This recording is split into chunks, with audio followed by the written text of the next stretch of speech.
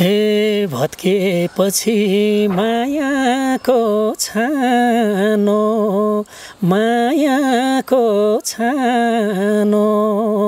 आफ्नो पनि भइदिन्छ बिरानो सारा सपना भयो अधुरो। मनमा पीडा भएर होला कि सूर्य पनि लाग्छ मधुरो। यो गीत चाहिँ मलाई अलिकति कृष्णजीसी भनेर चिनाउने गीत चाहिँ। बनेछ। हे माया पारी मरुन्छु। वारी मिल्ने भए बेच्ने थिएँ।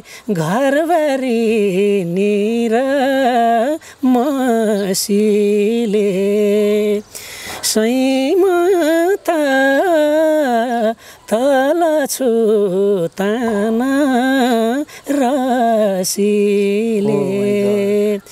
त्यसरी पोलिटिकल साइन्सको बुकमा मैले चिठी राखेर पढ्नको लागि उहाँलाई रेफरेन्स बुक दिएँ। उहाँले घरमा पुगेर हेर्नु भएछ। त्यसपछि त्यसको पत्रको जवाब रिप्लाई। कसरी आयो? रिप्लाई सकारात्मक नै आयो। म हे कोरोनाको नलिनु चिन्ता नलिनु चिन्ता। बाँचेपछि भेट भइन्छ एक दिन त। सारा सपना भयो अधुरो। भन्न चाहन्छु किन भन्दाखेरि कोरोना केही होइन केही हो। चिन्ता नलिनुहोस् स्वास्थ्यका मापदण्डहरू पालना गर्नुहोस् गराउनुहोस् र अवश्य एक दिन चाहिँ यो महामारी यो सङ्क्रमण दर घटेपछि फेरि हामी फिजिकली रूपमा शिक्षक विद्यार्थी आफन्त इष्टमित्र साथीभाइ सबैसँग भेटघाट हुन पाइन्छ। यही भन्न चाहन्छु। सूर्योदय न्युज हेरिरहनुभएका तपाईँ सम्पूर्णमा हार्दिक स्वागत छ। नमस्कार म बादल शाही। समाजको विकृति र विसङ्गतिको पर्दाफास गर्ने हाम्रो अभियान जारी छ।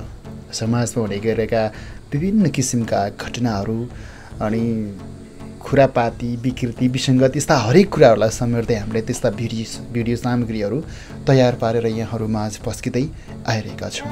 आज भने अलिक फरक प्रसङ्गको फरक सन्दर्भको भिडियो सामग्री यहाँहरू माझ लिएर आउँदैछौँ। पक्कै पनि यहाँहरूलाई मनपर्नेछ भन्ने आशा गरेका छौँ।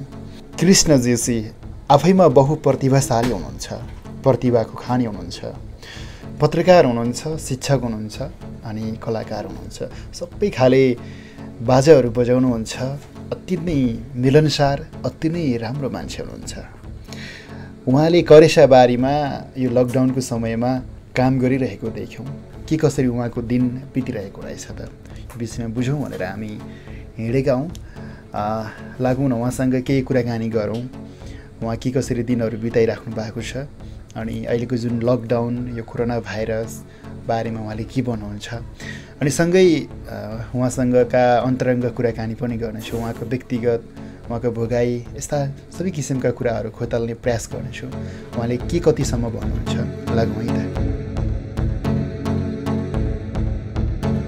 है सर नमस्कार। नमस्कार आराम हुनुहुन्छ? तपाईँ त मास्क साक्स नलागिकन यसरी काम गर्न लाउनु भएको छ। मास्कको कुरो त उठाइहाल्नु भयो। बडो खतरनाक अवस्था हो। हजुर। लगाउनु पर्ने हो। हजुर। तर म यस्तो ठाउँमा छु कि तपाईँले वरिपरि हेर्नुभयो भने मेरो वरिपरि कोही पनि छैनन्। म यो बारीमा हजुर। एक्लो छु। हजुर।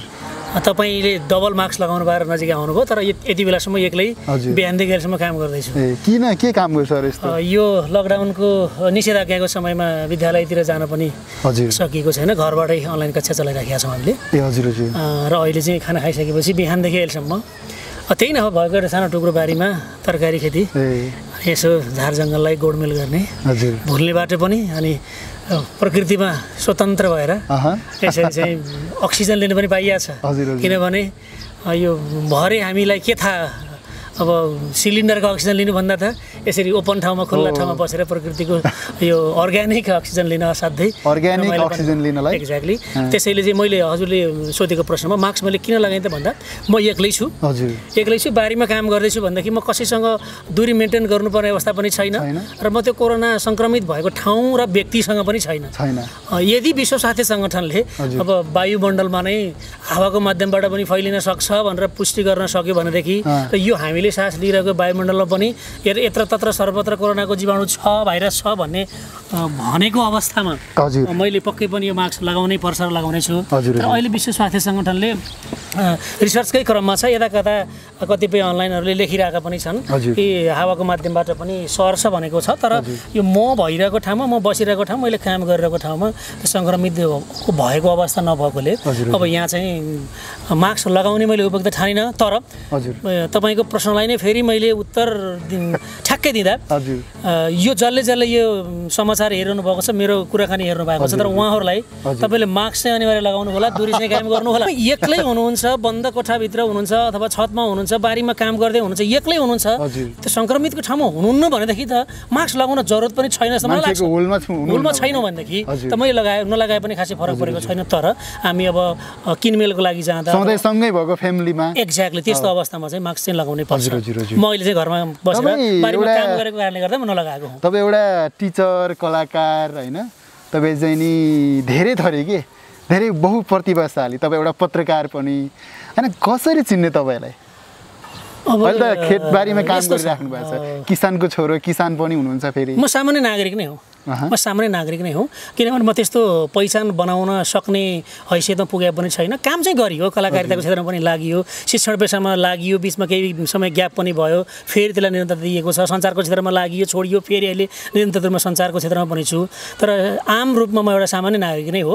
तर मान्छेले जीवन जिउनको लागि थुप्रै प्रकारका यो के भन्छन् अभिनय गर्नुपर्छ जीवनमा जीवन एउटा विलियम सेक्सपियरले भन्नुभएको छ नि जीवन एउटा नाटक हो रङ्गमञ्च हो। रङ्गमञ्चमा हामीले एउटा रङ्गमञ्चको हामी पात्र मात्रै हौँ।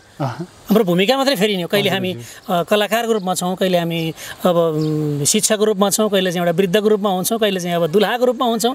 जीवन एउटा रङ्गमञ्च हो। रङ्गमञ्चको हामी एउटा कलाकार हौँ। फरक फरक रूपमा अभिनय गर्नुपर्छ भने जस्तै। म पनि कहिले अब कलाकार भएर हिँडेँ कहिले चाहिँ अब सञ्चारकर्मीको रूपमा अहिले चाहिँ काम गर्नको लागि हातभरि धुलो माटो भएर काम गरिरहेको छु एउटा कृषक रूपमा पनि छु। त्यसैले मलाई एउटा सामान्य रूपमा अब जसलाई जसलाई मैले शिक्षा दिएँ पढाएँ कक्षा कोठामा त्यसले सर भनेर अब शिक्षक रूपमा चिने पनि भयो। जसले मलाई कहीँ कतै कलाकारिताको क्षेत्रमा देख्नु भयो यो एउटा कलाकारको रूपमा हो भनेर पनि चिने पनि भयो। जसले जसले मैले चलाएको अनलाइनबाट अथवा मैले लेखेका समाचारहरू पढ्नुहुन्छ यो पत्रकारिता पनि गर्छ सञ्चारको क्षेत्रमा छ भनेर चिने पनि हुन्छ जसले जसरी चिन्ता पनि हुन्छ। हो अनि तपाईँ धौलागिरी एफएममा पनि काम गर्नुभयो धेरै जमानामा धेरै पहिला। हजुर। अनि तपाईँ त्यति बेलाको जुन रेडियोको जुन त्यति बेलाको माहौल त्यति बेलाको अवस्था होइन?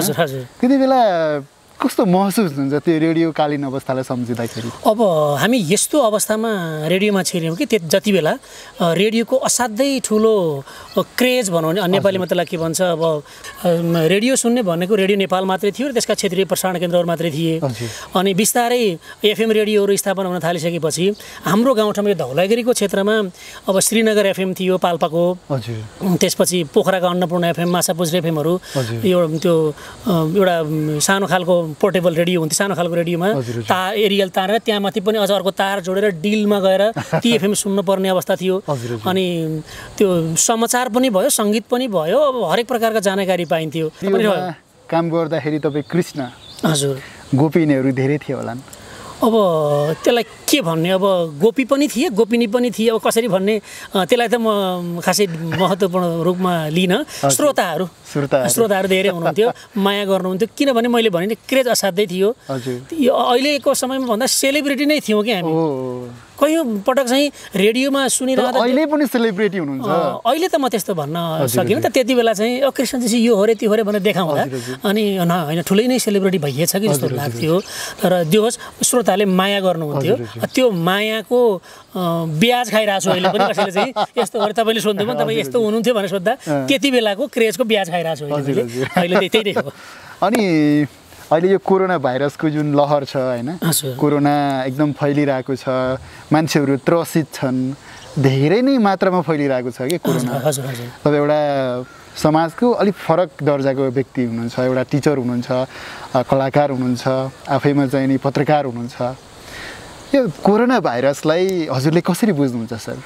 अब यो कोरोना भाइरस कसरी बुझेँ भन्दा अब अघिल्लो वर्ष चाइनाको वुहानबाट जसरी यो एउटा भयङ्कर महामारीको रूपमा फैलिएर विश्वव्यापीकरण भयो विश्वभरि नै यसले आक्रान्त बनाइरहेको छ महामारीको रूपमा फैलिरहेको छ। अब केही होइन भनौँ भनेदेखि विश्वका असाध्यै शक्तिशाली सम्पन्न राष्ट्रहरू स्वास्थ्य हरेक क्षेत्रले सम्पन्न राष्ट्रहरू पनि यसबाट आक्रान्त छन्। अर्थतन्त्र अहिले डामाडोल बनाइदिएको छ शैक्षिक क्षेत्र डामाडोल बनाइदियो सबै चिज ठप्प छ। अब केही हो भनौँ भनेदेखि यसको सङ्क्रमण दर र मृत्यु दर हेर्दा सामान्य जस्तो लाग्छ फेरि। त्यसैले मैले के भन्छु भनेदेखि कोरोना भाइरस केही नभएको होइन केही चिज चाहिँ हो। हो। तर यो कोरोना भाइरस दुई हजार सतहत्तर अठहत्तरमा जुन भयो अथवा दुई हजार उन्नाइस बिस अब टु थाउजन्ड ट्वेन्टी वान आयो अहिले। योभन्दा अगाडि पनि त हामीलाई रुगाखोकी लाग्थ्यो। लाग्थ्यो। ज्वरो आउँथ्यो। होइन? श्वास प्रश्वास सम्बन्धी समस्याहरू आउँथे त्यति बेला पनि अहिले मैले ठ्याक्कै भन्नुपर्दा त्यति बेला पनि एउटा नेटिभ भाइरस के? यहाँको। पुरानो भाइरस जसले हामीलाई रुगाखोकी सिजनल रूपमा आउने गर्थ्यो। त्यो थियो। र पछाडि चाहिँ अब अलिक फरक प्रकृतिको फरक प्रकृतिको भाइरस अब चाइनाबाट सुरुवात भयो या अन्य कुनै ठाउँबाट आयो त्यो अझै पनि अनुसन्धानकै क्रममा छ। विश्व स्वास्थ्य सङ्गठनका विज्ञहरू चाइनामा पुगेर वुहानको त्यो जहाँ मासु पसलबाट फैलिएको भन्ने कुरो आयो त्यहाँ छानबिन गरे अनुसन्धान गरिरहेका छन्। चाइनाको प्रयोगशालाबाट आयो भन्ने पनि कुरा आयो त्यो पनि अनुसन्धान र छानबिन गर्दैछन् अध्ययन गर्दैछन्। तर केही नभएको होइन केही चाहिँ हो यो। तर त्यो केही केही भाइरसले केही क्षमता भएको।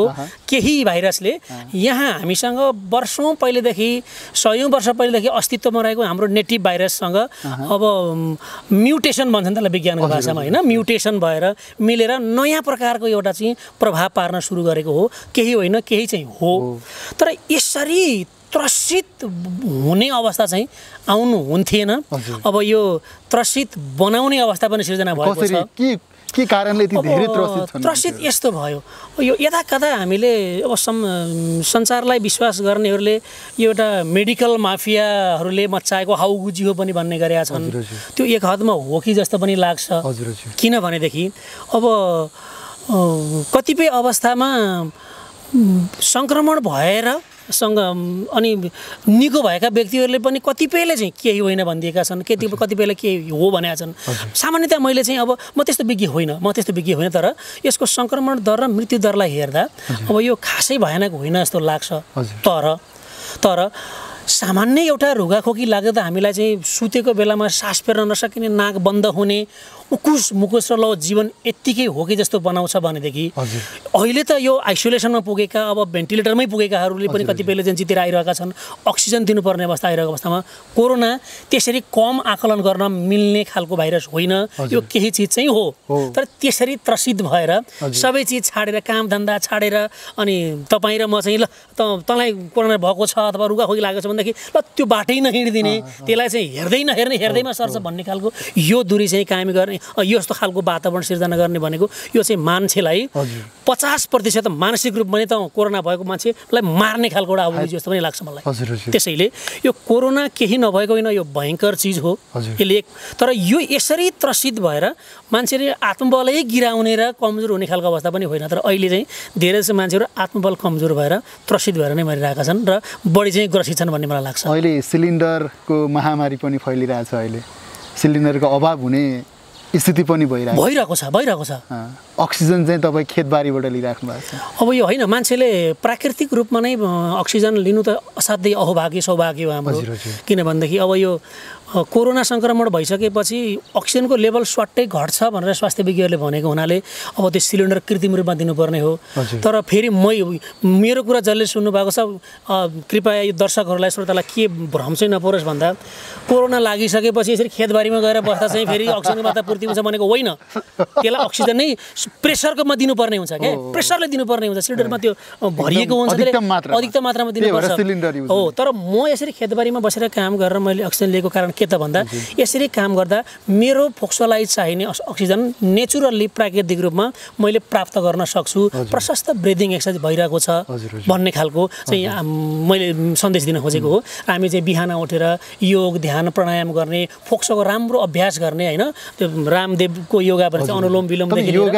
म गर्छु। बिहानमा चाहिँ हरेक दिन म छ किलोमिटर दौडन्छु पनि। यहाँबाट म जाने भनेको म अहिले चाहिँ पर्वत जिल्लाको जलला गाउँपालिका वडा नम्बर तिन बौरमा बस्छु भनेदेखि म यही बाटो अब निषेधाज्ञा चाहिँ हामी पारि जान पाउँदैनौँ पाउँदैनौँ। तर यो बाटो म दौडँदै म दौडिने भनेर एकदम स्पिडमा धेरै तीव्र गतिमा दौडन्न म जगिङ गर्दै म राम मन्दिर पुग्छु। त्यहाँबाट दौडेर यहीँ आउँछु र घरमा आइ आइसकेपछि कोठामा बसेर अनि सामान्यतया अब योग ध्यान र मैले लगभग साढे सात बजेसम्म सात बजेदेखि साढे सात बजेसम्म आधा घन्टा जति त्यो दौडेर आइसकेपछि पनि त्यो काम गर्छु। र मैले अरू बेला त मैले स्कुल खुलेको बेलामा त जान भ्याउँदिनँ किनभनेदेखि साढे पाँच बजीमा क्याम्पस पुग्नुपर्छ।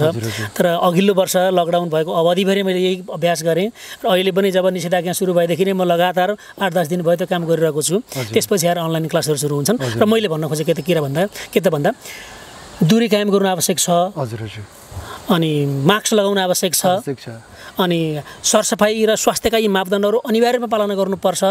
त्यो सँगसँगै त्यो सँगसँगै हाम्रो रोग प्रतिरोधात्मक क्षमता बढाउने खानेकुराहरू खाने योग ध्यान गर्ने अनि फोक्सोलाई प्रशस्त मात्रामा के।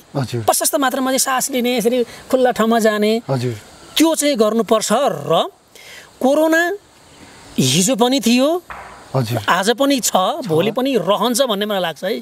किनभनेदेखि अब कोरोना सँगसँगै बाँच्यो जसरी। वर्षौँदेखि हामीले रुगाखोकीको भाइरसलाई बोकेर बाँचिरहेका छौँ भनेदेखि अब हाम्रो शरीरले त्यो कोरोना भाइरसलाई पनि। अब एडप्ट एडप्ट गर्ने र त्यसलाई चाहिँ के भन्छ त्यसलाई अब एडप्टेसनतिर गयो होइन अब एडप्ट पचाउनेतिर लाग्यो। जानुपर्ने अवस्था आउँछ। किनभनेदेखि अब भाइरसलाई निमिटन पार्दा अब उम्, मुस्किलै पर्ला। त्यही पनि स्वास्थ्यका मापदण्डहरू पालना गर्दै अहिले चाहिँ यो स्वास्थ्यका मापदण्डले सङ्क्रमण दरलाई कम गर्छ। हजुर बुझ्नुभयो नि? दस दिन मात्रै भए पनि हामी घरको घर जहाँ छौँ त्यहीँ बसिदिने। अब एउटा परिवारको मान्छे अर्को परिवारसँग नजाने यदि परिवारमै देखियो भने पनि हामी अब आइसोलेसनमा बसिदिने। गर्ने र दस दिनसम्म हामीले यसलाई पालना गर्ने भनेदेखि यो सङ्क्रमण दर घट्छ। सङ्क्रमण दर घट्यो भनेदेखि त। कमसेकम एकपटक मलाई आक्रमण गरेर निको भयो भनेदेखि त फेरि आक्रमण गरेपछि त मसँग त त्यो रोग प्रतिरोधक क्षमता छ नि त। छ नि अलरेडी सा- सामान- कतिपय त अब फेरि अहिले हतोत्साहित भएको हिसाबमा एकदम दिन उमेर भएको एकदम स्ट्रङ टाइपको होइन। युवाहरू नै अब कोरोना सङ्क्रमणको कारणले मरेको भन्ने कुराहरू आइरहेको छ। हजुर। तपाईँले के भन्नुहुन्छ? यसलाई कसरी डेफिनेसन अब हामीले दुई पक्षबाट एनालाइसिस गर्न विश्लेषण गर्नुपर्छ यसलाई। एक थरी प्राकृतिक चिकित्सक डाक्टर अब पूर्णबहादुर शाही जस्ता प्राकृतिक चिकित्सकहरूले के भन्दैछन् भन्दा यो अनावश्यक हाउगुजी हो मास्क लगाउनु पनि पर्दैन। यसरी पनि जित्न सकिन्छ यो मेडिकल माफियाहरूले एलोप्याथी को गर्नेहरू डाक्टर यो चिकित्सकहरूले औद्योगिक औषधि व्यवसायहरूले नाफा कमाउनलाई यिनीहरूले यस्तो हाउगुजी बचाए भन्नुभएको छ। उहाँले पनि तर्कसहित आउनुहुन्छ यसो हेऱ्यो सुन्यो लेख्यो लेखेको पढ्यो। हो कि जस्तो पनि लाग्छ। अनि मैले हिजो मात्रै फेरि हाम्रो यो सुखराज ट्रपिकल सेन्टरमा हाम्रो डाक्टर शेरबहादुर पो हुनुहुन्छ। उहाँको अन्तर्वार्ता मैले हिजो मात्रै पनि हेरेको थिएँ। नियमित हेर्ने गर्छु। उहाँले चाहिँ जो मान्छे भेन्टिलेटरमा पुगेर फर्किरहेको छ अँ, त्यसले चाहिँ कोरोना भयङ्कर हो यो खतरनाक छ भनेको छ। हो पनि किनभने भेन्टिलेटरबाट फर्किरहेको छ ऊ। जो मान्छे अब आइसियुबाट फर्केको छ त्यसले पनि कोरोनाबाट जोगिनु पर्छ है पनि भनिरहेको छ। जो मान्छे आफू सङ्क्रमित भएन सङ्क्रमित देख्यो कोरोना केही पनि होइन या सामान्य रोग भनिरहेको छ। त्यसैले यो सबै कुरालाई विश्लेषण गरेर हेर्दा र मैले चाहिँ तपाईँलाई अघि नै पनि मैले भने। केही नभएको होइन कोरोना भाइरस केही हो। तर त्यसरी त्रसित भएर आत्मबल कमजोर बनाएर अब झन् हामी चाहिँ एकदमै ग्रसित हुने वातावरण सिर्जना गर्नु हुँदैन। मेरो दायित्व त्यो पनि हो तपाईँको दायित्व सञ्चारकर्मीको दायित्व समाजमा जसले बुझेको छ। हामीले बुझाउनु पनि पर्छ। कोरोनाबाट सचेत रहनुहोस् सतर्क रहनुहोस् स्वास्थ्यका मापदण्डहरू पालना गर्नुहोस्।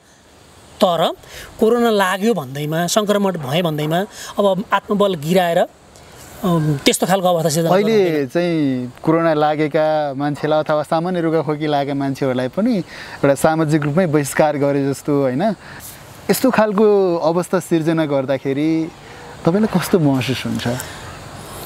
साँच्ची नै अब म एउटा हाम्रो समाजले वर्षौँ पहिलादेखि निर्धारण गरेको हजुर। बनाएको कथित उपल्लो जातको मान्छेमा पर्छु। हजुर। क्षेत्रीय वर्गमा पर्छु। हजुर।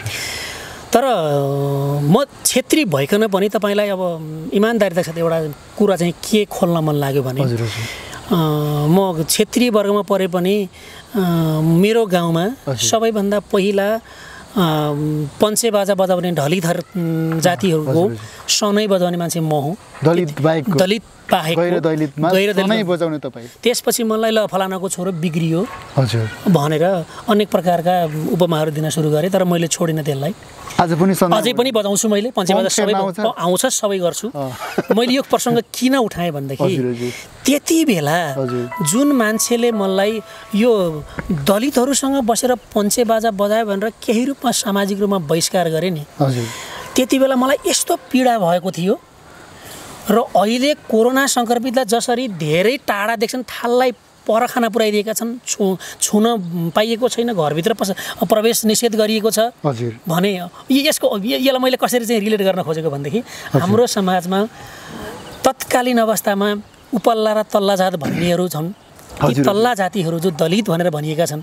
तिनीहरूले सयौँ वर्षदेखि यस्तै प्रकारको सामाजिक दूरी अवहेलना सहनु परिरहेको छ भनेदेखि अब मलाई म सङ्क्रमित भएँ र मैले त्यो खालको व्यवहार मैले केही समयलाई हजुर। चौध दिन अथवा बिस दिनसम्म जति बेला म सङ्क्रमण मुक्त हुन्न त्यति बेलासम्म मैले भोग्नु पर्दा अब मैले के बुझ्नुपर्छ भने ए त्यति बेला सयौँ वर्षदेखि अपहिलित भएका कथित तल्लो जाति भनेरले लाई कस्तो खालको पीडा हुन्थ्यो होला? कस्तो खालको पीडा त्यो भोग्ने मौका चाहिँ एउटा महसुस गराइदिने एउटा महसुस गराइदिने पनि माध्यम पनि हो। हजुर। बुझ्नु पनि यो यो चिज चाहिँ ख्याल गर्नुपर्छ। तर म चाहिँ उपल्लो जात भए पनि मैले चाहिँ यो जातीयताको आधारमा यसलाई कास्ट भन्छ मैले कास्ट डिस्क्रिमिनेसन जातीयताको भेदभाव त मलाई खासै आभास भएको छैन। तर वर्गीय भेदभाव भोगेको मान्छे हुँ। वर्गीय भेदभाव पनि यति पीडादायक छ जति त्यो जातीय भेदभाव छ जातीय भेदभाव रूपमा जो मान्छेलाई बहिष्कृत गरिएको छ अझै पनि।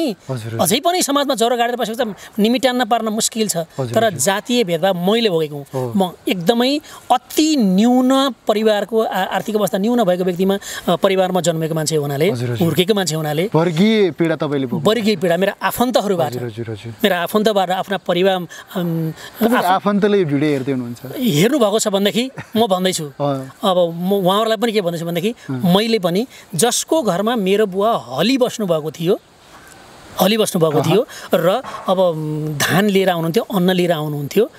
त्यसपछि म उहाँको घरमा पुग्दा अब छुट्टै अलिकति अलि धनाड्डेको घरमा चरेसका थालहरू हुन्थे। हाम्रो हामी त अल्मुनियम सिल्टेका थाल मुस्किलले स्टिलका थाल हुन्थे। अब उहाँहरूले चाहिँ स्टिलका थालमा खाँदा र सिल्टेको थालमा खाना दिँदा मलाई पीडा हुन्थ्यो। त्यति बेला त मैले भात खान पाएँ भने खुसी हुन्थेँ किनभने हाम्रो घरमा भात खान पाइ पाइदिन्थ्यो खुसी हुन्थेँ। तर पछाडि मलाई र पछाडि मलाई के आभास भयो भनेदेखि किन तिनीहरूले मलाई फरक थालमा दिए? म त भात खान पाएपछि खुसी हुन्थेँ। अनि थाहा भयो कि म यस उनीहरूले मलाई अपहेलना गरेका थिए।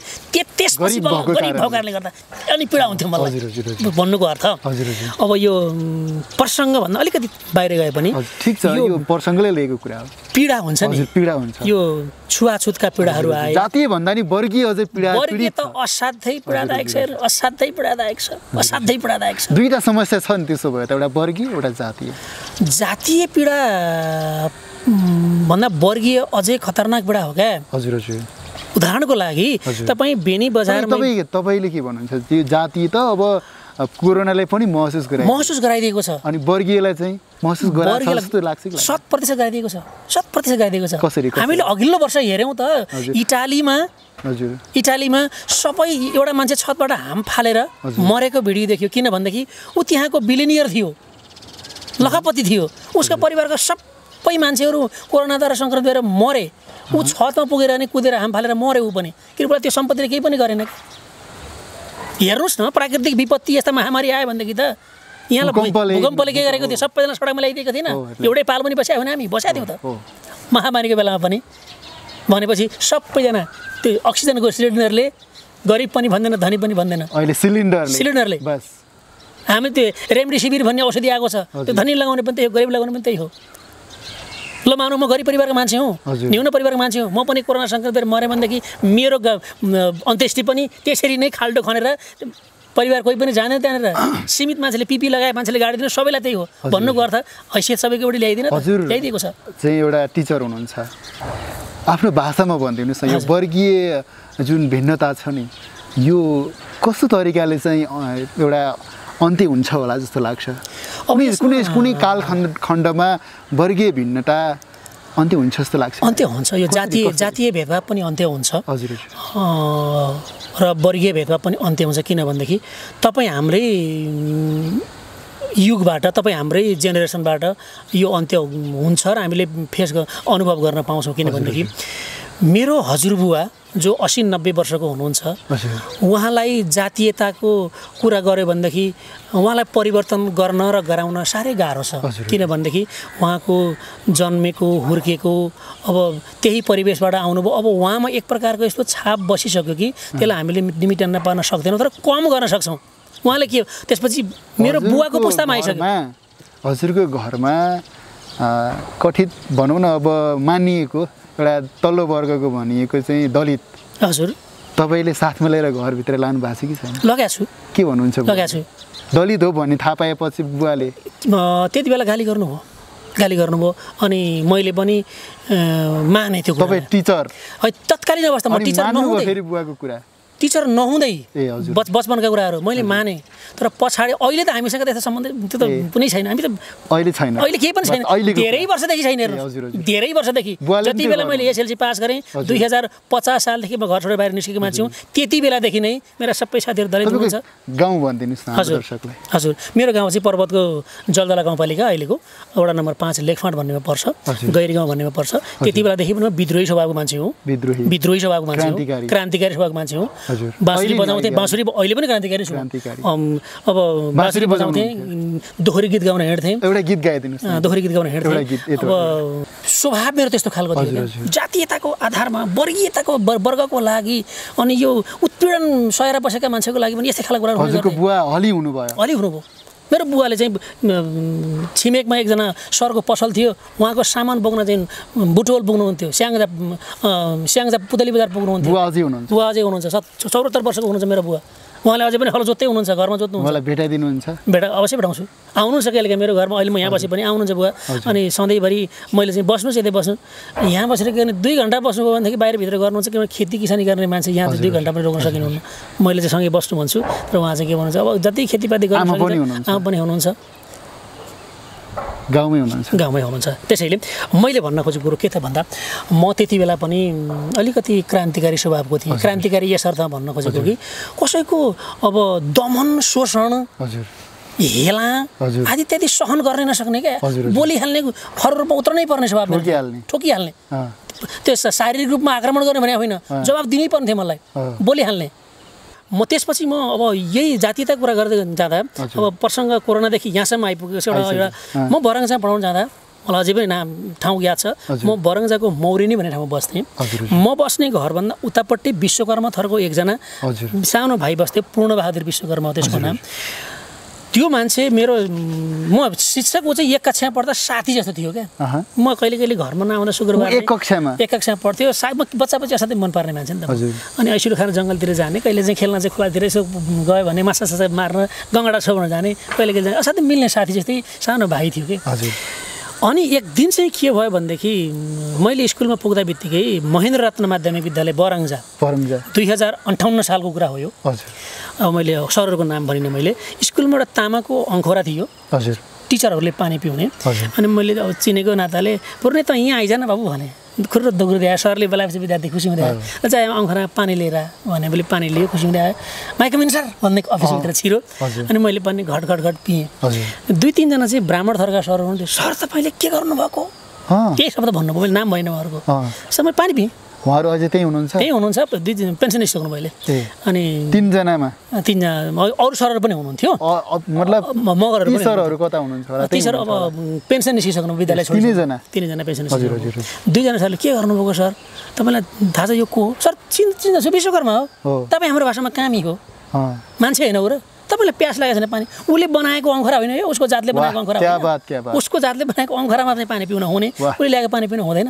म त प्यास लाग्यो म त पिइदिएँ अँ। केही फरक परेन यस्ता खालका धेरै कुराहरू छन् मैले बरङ्जामा स्कुलमा नै? स्कुलमा यस्तो चिज थियो अनि मैले भने सर तपाईँ हामी त समस्याको समाधान गर्ने ठाउँमा छौँ। आजभोलि यस्तो समाधान?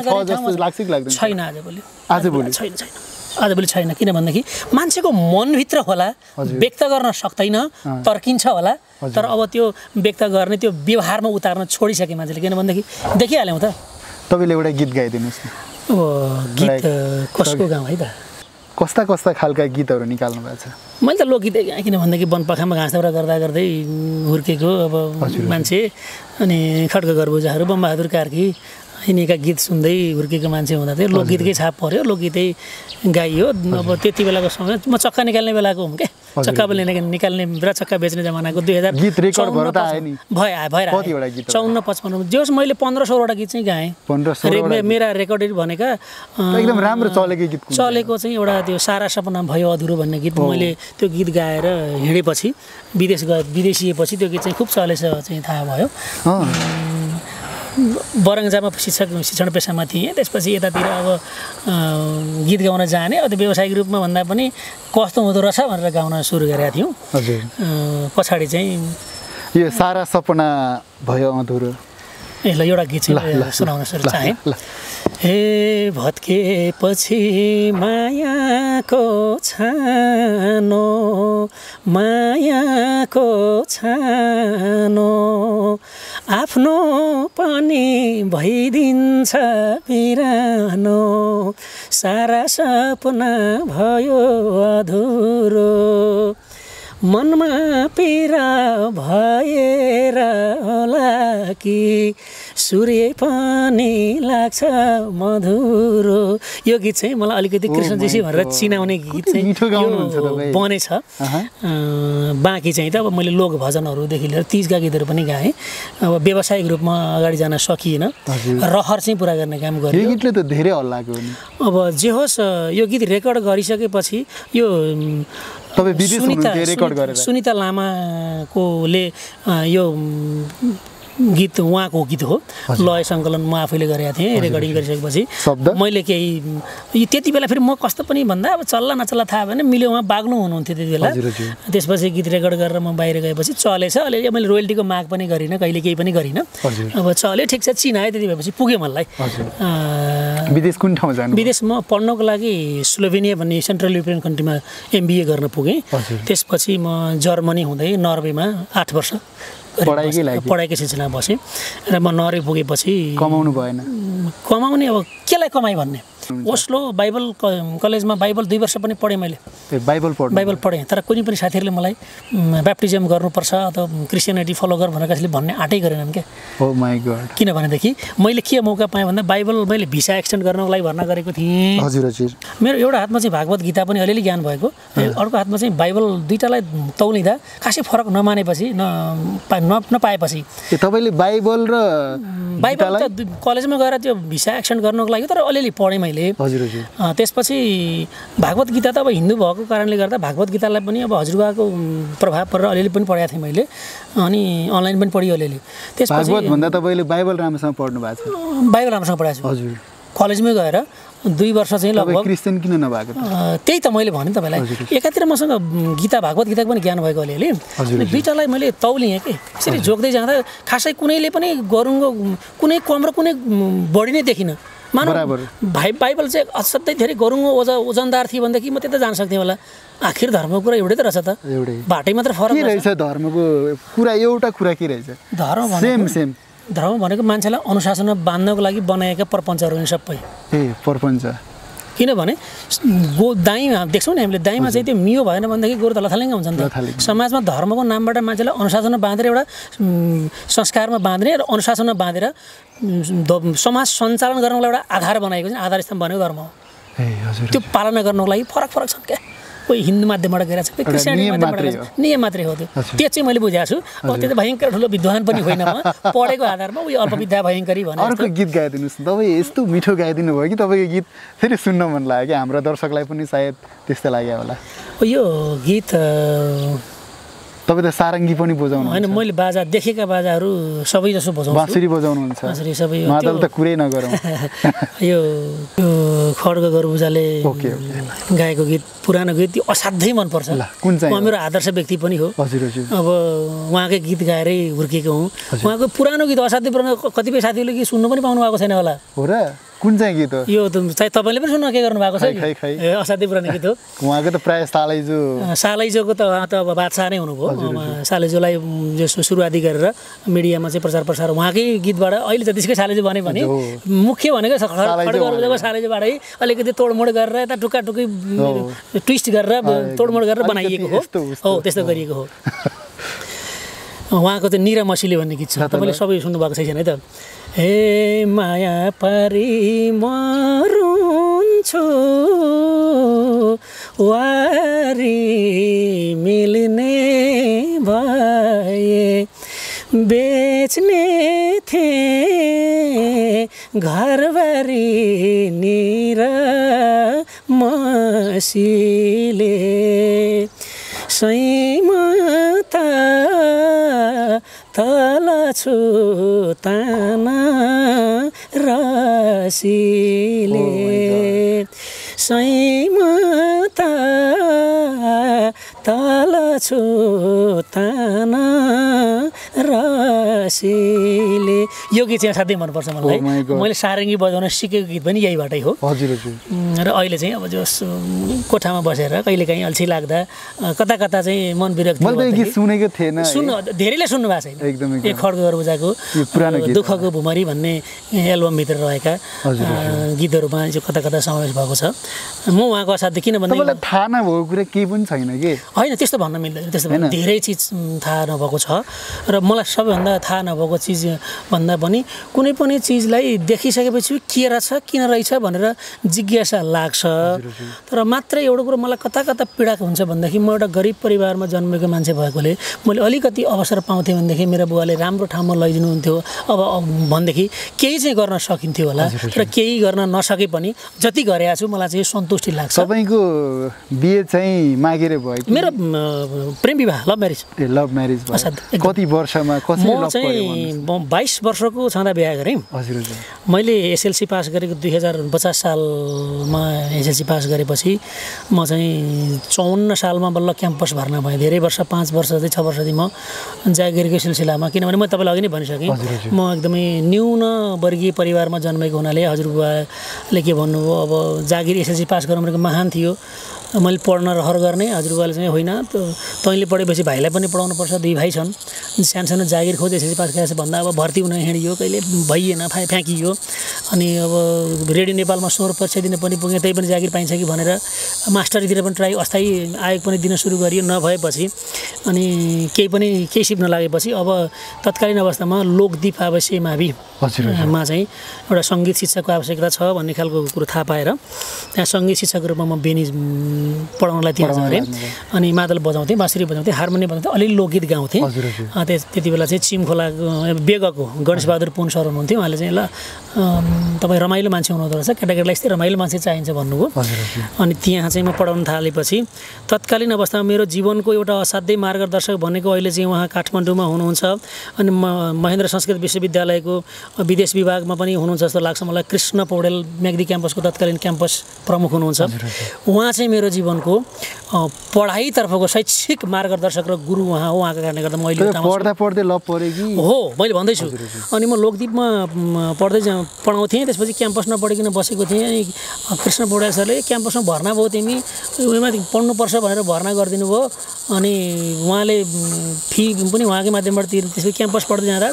अनि बेनी बजारमै होसी होसी डल्ली डल्ली पुड्की पुड्की मान्छे थिएन एकजना। देवी सुवेदी भन्ने प्रकाश समयबाट एसएससी पास गरेकी एकदिन क्याम्पस पढ्न आइन् अनि कस्तो भन्दा एक दिन क्याम्पसमा अन्तर सदन समूह एउटा हाजिरा प्रतियोगिता थियो। प्रतियोगितामा मलाई पनि हाजिरा प्रतियोगितामा भाग लिन मन लागेको मेरो टिम चाहिँ पुगेन।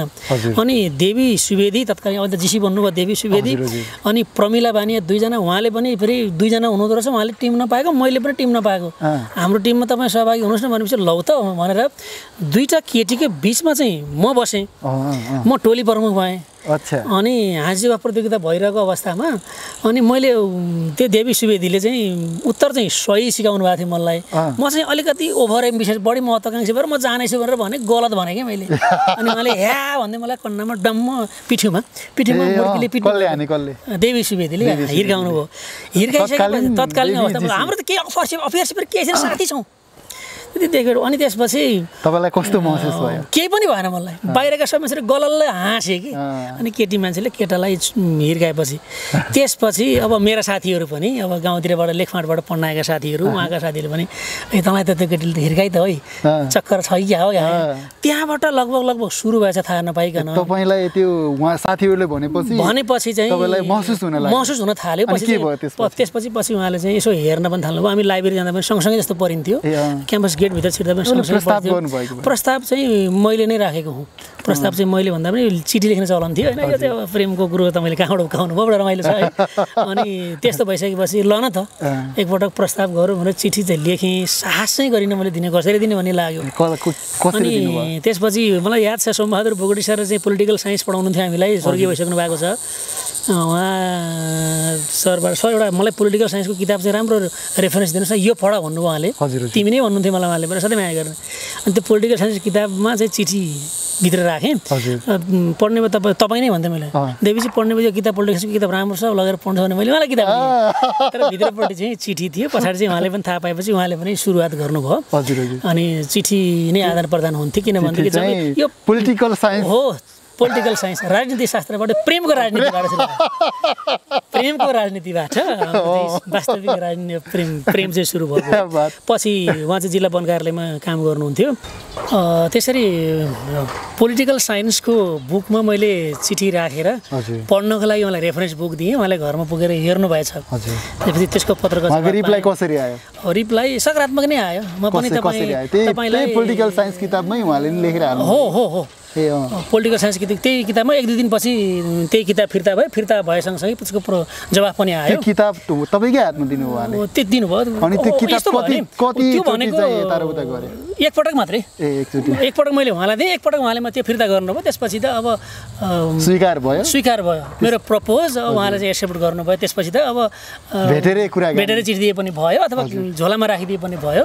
अनि एउटा मेसेन्जर भाइ पनि थिए। ती भाइ अहिले चाहिँ अमेरिका बसोबास गर्छन्। हजुर। नगेन्द्र रावल भन्ने भाइ हुन्। उहाँको घरमा मेरो अहिलेको मिसेस देवी सुवेदी बस्ने हुँदा। चिठी चाहिँ मैले उहाँलाई दिने। उहाँ चाहिँ हुलाकियो त्यो बेलाको। अहिले अमेरिका बस्नुहुन्छ। यदि यो हेर्नुभएको छ भनेदेखि नगेन्द्र रावल भाइलाई पनि मैले धेरै सम्झिएको छु। तपाईँ हाम्रो जीवनको एउटा चाहिँ के भन्दा मेसेन्जर हो। तपाईँले राम्रो रोल प्ले गर्नुभएको छ। तपाईँको आशीर्वादले हामी चाहिँ दुईजना। सँगसँगै हाम्रो परिवारमा राम्रै चलिरहेको छ भन्न। कति छन् अहिले छोरछोरी? मेरा दुईजना दुईवटा छन् अहिले। छोरी अहिले ब्याचलर्स तयारी इन्ट्रान्स दिएर बस बसेकी छन् भने हजुर छोरो चाहिँ अहिले आठ कक्षा पढ्दैछ। हजुर हजुर। त्यही हो बिए चाहिँ लाइफ के हो जस्तो लाग्छ? जीवन के हो? जीवन भनेको त जिउने कला हो हेर्नुहोस्। कला। खुल्ला किताब हो। खुल्ला किताब। मैले के भन्छु भनेदेखि जीवन भनेको खुल्ला किताब हो। यो खुल्ला किताब हो। मैले एउटा किताब पनि प्रकाशन गरेको छु। अहिले त देखाउन टक्क मिलेन मैले। माथि। खेतबारीमै छु। म अलिअलि यसो दुई ठाउँ दुई चार ठाउँमा यो उद्घोषण वक्तित्व कला अनि भाषण कला। सँगसँगै यो अलिअलि मोटिभेसनल रूपमा चाहिँ दुई तिनवटा ठाउँमा तालिम दिन पनि पुगेको छु। र त्यसको लागि मैले एउटा एउटा किताब मैले प्रकाशन गरेको छु। अनौठो किताब छ क्या त्यो? त्यो तपाईँले प्रश्नको जवाब त्यही किताबले दिन्थ्यो अहिले मलाई। किताब एउटा दिनु होला। होइन किताब केही तपाईँले बना आफै बनाउन सक्नुहुन्छ। केही पनि छैन त्यो किताब के छ भन्दा बाइन्डिङ भएको छ। हजुर। अनि लेखकको नाम चाहिँ अब लेखक भनेर भनेको छैन मैले चाहिँ अनि त्यसलाई चाहिँ के भन्दा त्यसलाई मैले के भन्छु भन्दा यो परिकल्पनाकार भनेको छु। किताब चाहिँ सट्टै खुल केही पनि छैन भित्र सबै पेज खाली छन्। ओ हो हो र। गाता मात्रै छ। किन बनाएँ भनेदेखि त्यो मैले सट्ट तालिम दिने बेला दिन्छु कि? अनि किताब के त? खाली छ त? हो जीवन खा खुल्ला किताब हो। यसका च्याप्टरहरू तपाईँ आफै लेख्नुहोस्। विशेष सूची पनि आफै बनाउनुहोस्। पेज नम्बर पनि आफै राख्नुहोस्। तपाईँलाई कुन पेजमा के राख्न मन लाग्छ? जीवन त्यही हो। जीवन खुल्ला किताब हो। क्या बात क्या बात। जीवन खुल्ला जीवन के भन्छ जीवन एउटा यसको वैज्ञानिक रूपले अथवा चाहिँ एउटा अर्थ त यस्तो पनि छ कि जीवन जन्म र मृत्यु बिचको चाहिँ ग्याप हो पनि एउटा भन्ने गरिन्छ। भनिन्छ होइन? तर त्यति मात्रै पनि भने जीवन भनेको त एउटा जिउने कला पनि हो र जीवन खुल्ला किताब। हो कि? यहाँ जीवनमा धेरै चिज गर्नुपर्ने छन्। जुनलाई प्राथमिकता दिएर जे गर्न मन लाग्छ। त्यसलाई त्यही लेखिदिने। तपाईँलाई चाहिँ कुनै चिज महत्त्वपूर्ण लागेन तपाईँले जीवनमा गर्नुपर्ने चिज? तपाईँले विवाह जीवनको विवाह चाहिँ महत्त्वपूर्ण लागेन भनेदेखि अन्तिम च्याप्टरमा राखिदिनुहोस् न त्यसलाई सकियो त्यो पढे पढे नपढे नपढेको होइन भन्नुहोस् जुन चिज मनपर्छ त्यसलाई फर्स्ट फर्स्टमा राख्नुहोस् न। विशेष त्यही जीवन भनेको खुल्ला किताब हो यही जस्तो लाग्छ मलाई मेरो विचारमा है त? Right right. जीवन भनेको मेरो बुझाइमा। जीवन भनेको एउटा जिउने कला हो। कला हो। भन्नुभयो यो यो कला हो खुल्ला किताब। खुल्ला किताब हो। हजुर। यति भन्न चाहन्छु। हामी लगभग अन्तिम अन्तिमतिर छौँ कोरोना भाइरस अनि यो तपाईँको भनौँ न आफ्नो व्यक्तिगत जीवन भोगाई तपाईँका दुःख सुखका बात तपाईँका केही मिठा गीतहरू हामीले सुन्यौँ। तपाईँले अहिले त लकडाउन भएको कारणले गर्दा तपाईँको विद्यार्थीहरू घरभित्र हुनुहुन्छ बाहिर न ननिस्किने अवस्था छ। आफ्नो विद्यार्थीहरूलाई के सुझाव दिनुहुन्छ तपाईँ? विद्यार्थी लगायत यो जसले जसले सूर्योदय अनलाइन मार्फत यो कुराकानी। हेर्नुभएको छ। अरू सबैलाई सबैभन्दा म के भन्न चाहन्छु भनेदेखि कोरोना महामारीको बेला छ। सुरक्षित रहनु होला भन्न चाहन्छु। र हामीले कोरोना भाइरसको प्रसङ्गबाट कुरा कुरा सुरुवात गरे पनि अन्तरङ्ग कुराकानी जस्तै भएर सबै कुरा आए। कतिपय चिजहरू तपाईँले मन पार्नु भयो मन पार्नु भएन होला। मन पार्नुहुन्छ पार्नुहुन्न त्यो फरकबाट हो। मैले चाहिँ के भन्छु भनेदेखि कक्षामा पनि मैले भन्ने गर्छु। मेरो विशेष त मैले सोधेको प्रश्न विद्यार्थी भाइ बहिनीहरूलाई मैले कहिले पनि कक्षाभित्र प्रवेश गर्दा म शिक्षक भएर प्रवेश गर्दिनँ म कक्षा कोठाभित्र साथी भनेर प्रवेश गर्छु। Inside the classroom I am your friend outside the classroom I am your teacher भन्छु। जस्तो उल्टो छ क्या। मैले उल्टो भन्ने गर्छु। कक्षा कोठाभित्र म तिमीहरूको साथी हुँ। साथी जस्तो व्यवहार गरिएन भनेदेखि विद्यार्थीहरूको खुल्न सक्दैनन् के? विद्यार्थी खुल्दैन। खुल्दैनन्। एउटा विद्यार्थी त हाँसी खुसी कक्षा कोठा छ भनेदेखि उसले प्रश्न सोध्न सक्छ। हो। अब दूरी कायम भयो भनेदेखि विद्यार्थी डराउँछ। बाहिरमा शिक्षक किन भनेदेखि समाज परिवर्तन भएको छ। दूरी कायम हुँदा मान्छे डराउँछ। डराउँछ। मनकै कुरा व्यक्त गर्न सक्दैन त्यसैले डिस्टेन्स मेन्टेन गर्नु हुँदैन क्लासरुमभित्र भन्छु। र मैले विद्यार्थीलाई के भन्छु भनेदेखि म शिक्षक होइन मात्रै तिमीहरूले जानेका कुराहरूलाई चाहिँ सहजीकरण गर्ने मान्छे मात्रै हौँ रमाइलो गर्न आएको भन्छु क्लासरुमभित्र र यो कोरोना महामारीको बेलामा हामीले अनलाइन क्लास चलाइरहेका छौँ। अनलाइन क्लास पढिरहनु भएको छ। तपाईँको यो खाली समयलाई चाहिँ घरमा जाएर मोबाइल नखेल्न पनि भन्दिनँ म फेरि कस्तो छु भन्दा धेरै शिक्षकले मोबाइल खेल्न हुनु भने मैले मोबाइल प्रयोग गर भन्छु। तर कसरी प्रयोग गर्ने तिनै मेरा विद्यार्थीलाई थाहा छ जसले प्रयोग गर्नुहुन्छ। दूरी कम।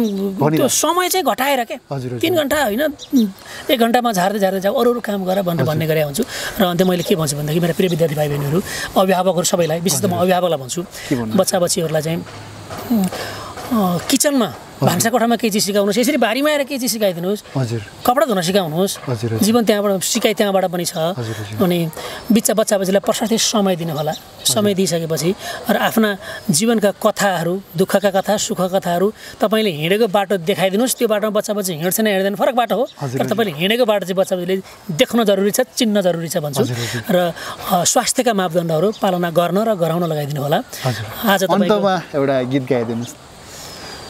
हे कोरोनाको नलिनु चिन्ता नलिनु चिन्ता बाँचेपछि भेट भइन्छ एक दिन त। सारा सपना भयो अधुरो। भन्न चाहन्छु किन भन्दाखेरि कोरोना केही होइन।